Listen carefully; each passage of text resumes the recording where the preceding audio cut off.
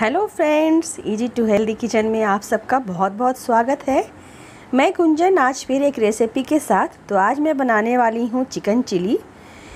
ये बिथ बोन है और बहुत ही आसान तरीके से आज हम लोग इसे बनाएँगे और बेहद ही टेस्टी ये बनने वाला है। तो चलिए फिर इसे ट्राई करते हैं बनाना। और चिली को दो तरीके से बना सकते हैं फ्रेंड्स एक तो बोनलेस बनाते हैं, उसका बनाने का तरीका अलग है, और एक विथ बोन बनाते हैं, उसका अलग तरीका है. तो आज हम लोग विथ बोन के साथ सीखेंगे चिली बनाना.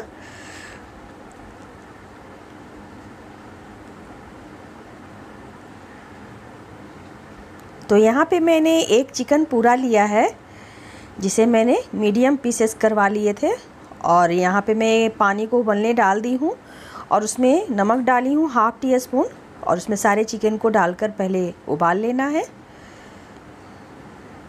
इसे तब तक उबालना है फ्रेंड्स जब तक कि ये पक न जाए, थोड़ा सॉफ्ट हो जाए, तब तक इसे उबालेंगे। सारे चिकन के पीसेस को डालकर और ढक के इसे पका लेंगे। तो फ्रेंड्स अगर मेरी वीडियो को पसंद आए तो लाइक ज़रूर कर दें। और ये मैंने लहसुन लिया है एक, उसे बीस से कट करके इसे डुबो दिया है। ये भी चिकन के साथ पक जाएगा तो इसका पल्प का हम लोग यूज़ करेंगे। तो अब इसे ढक दिया मैंने और पंद्रह मिनट तक इसे पकाएँगे। तो ये देखिए, पहले मैं लहसुन निकाल लेती हूँ इसमें से। और चिकन भी बिल्कुल पक चुका है तो अब हम लोग इसे भी निकाल लेंगे।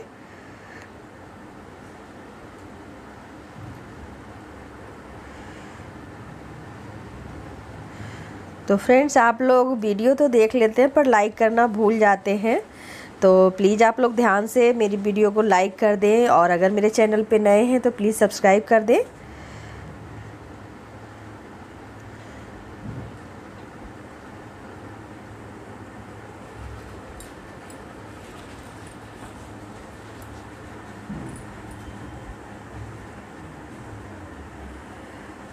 तो चिकन के पीसेस को मैं निकाल चुकी हूँ और ये जो पके हुए लहसुन है, उसके पल्प निकाल कर इसी चिकन में डाल देंगे क्योंकि अब हम लोग इसकी मैरिनेशन की तैयारी कर रहे हैं।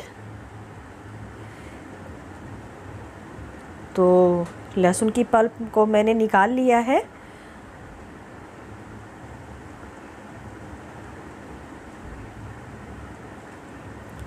और यहाँ पे मैं एक चम्मच सेजवान सॉस डाल रही हूँ। इसका भी वीडियो मैं अपलोड कर चुकी हूँ। और ये चिली सॉस है। चिकन चिली बन रहा है तो ये थोड़ा तीखा भी होगा। तो यहाँ पे मैं चार से पाँच चम्मच चिली सॉस डाल रही हूँ। बड़े चम्मच से मान लीजिए कि जो सर्विंग स्पून होता है उससे दो चम्मच मैंने चिली सॉस लिया है। और दो चम्मच टोमेटो सॉस सर्विंग स्पून से।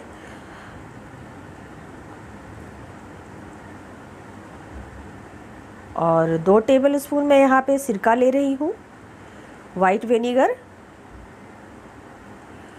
और दो टेबल स्पून मैं यहाँ पे सोया सॉस ले रही हूँ।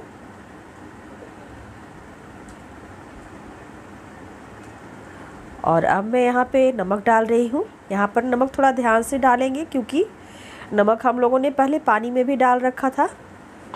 तो चिकन हमारा पहले से ही थोड़ा सा सॉल्टी है। और दो चम्मच मैं यहाँ पे कॉर्नफ्लावर डाल रही हूँ। और अब इसे अच्छे से मिक्स कर लेंगे। और लगभग 20 से 30 मिनट तक इसे मैरिनेट होने के लिए छोड़ेंगे। मैं यहाँ पर इसे आधे घंटे के लिए छोड़ूँगी 30 मिनट।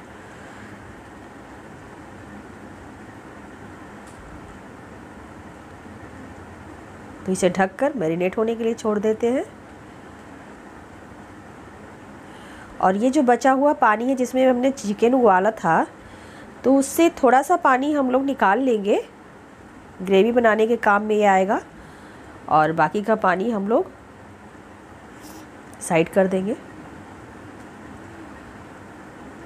और यहाँ पे मैं तीन टेबल स्पून रिफाइंड ऑयल का यूज़ कर रही हूँ।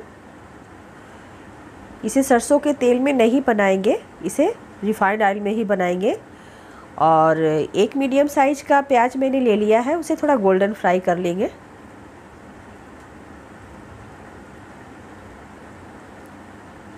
तो प्याज हमारा भून चुका है और एक लहसुन मैंने लिया था।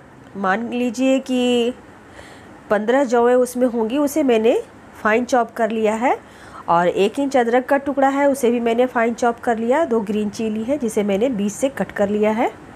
और अब इसे थोड़ा सा फ्राई कर लेंगे। ज़्यादा नहीं फ्राई करना है, इसे हल्का ही फ्राई करेंगे।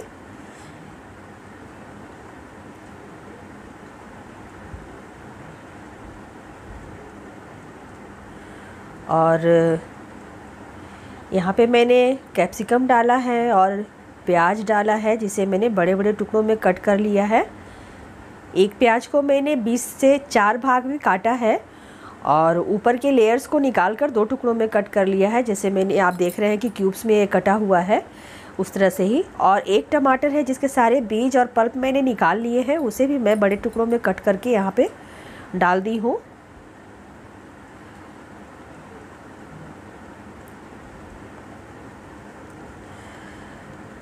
और अब अपना मैरिनेट वाला जितना भी चिकन था वो इसमें डाल देंगे।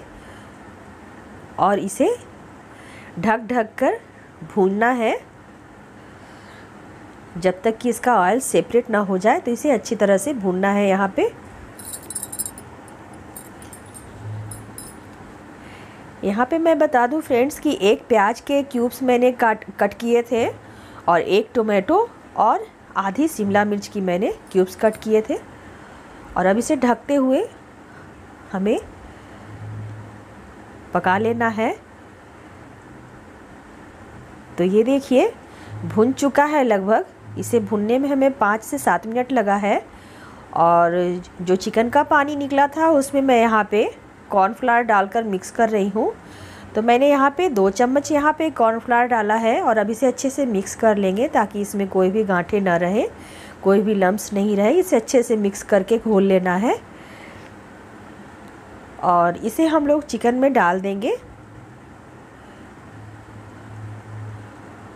और अब इसे मिक्स करेंगे। तो इसे अच्छे से चलाते हुए मिक्स करें, क्योंकि चिकन हमारा सॉफ्ट हो चुका है।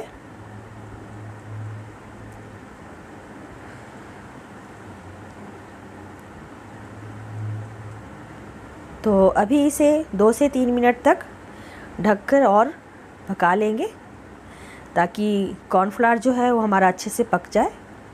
तो ये देखिए कितना अच्छा लग रहा है और खुशबू तो बहुत ही बेहतरीन आ रही है।